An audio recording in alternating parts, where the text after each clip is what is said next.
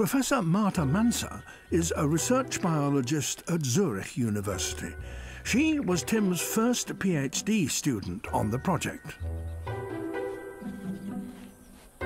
She set about investigating meerkat communication with a series of ingenious experiments.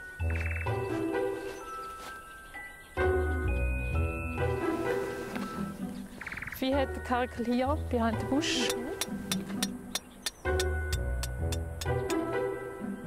Props are set up before the meerkats emerge from their sleeping burrows. Today we'll try to do a presentation of uh, jackal. That's the main predator really of the meerkats here in the Kalahari. And as it approaches, everybody will probably become exciting and hopefully we will will hear the different alarm calls. Okay, maybe you can pull slowly. Live predators would be difficult to use, so instead, Marta chose the next best thing.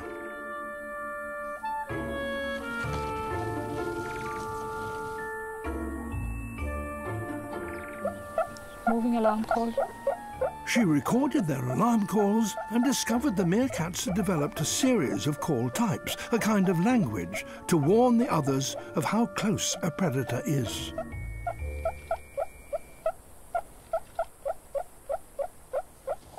And what type it is.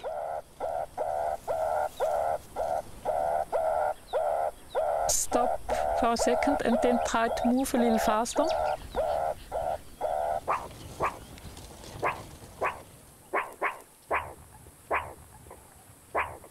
Start to bark now. As the jackal gets closer, the meerkats identify the ground predator and prepare for an emergency.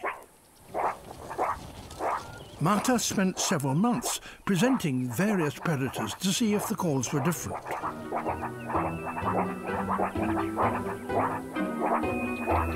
She even launched a jackal into the air to see if meerkat calls distinguish between ground and aerial predators.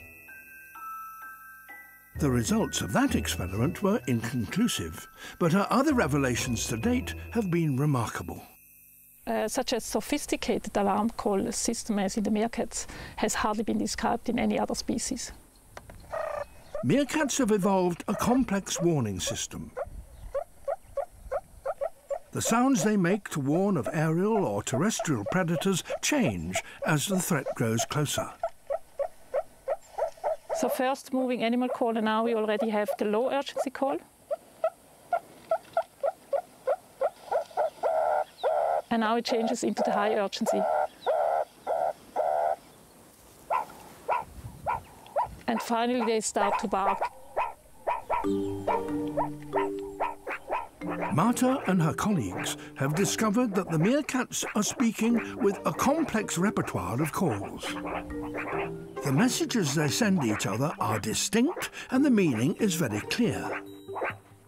Play them your choice of recording and you can predict exactly how they will react.